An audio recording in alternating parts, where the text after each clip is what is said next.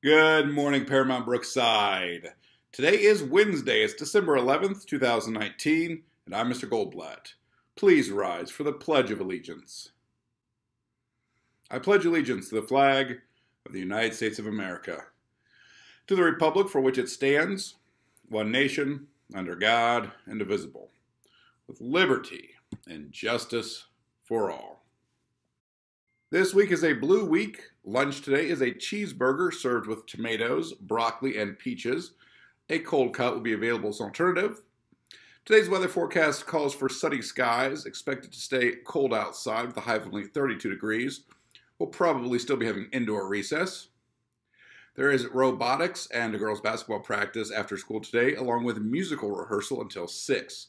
Tomorrow, there will be robotics practice as well, along with chess and tennis club and musical rehearsal. Boys basketball tryouts will be a week from today. Tune into morning announcements next week for more on those details. And students, as you engage with the world and those around you today, remember the undertaking of new action brings new strength.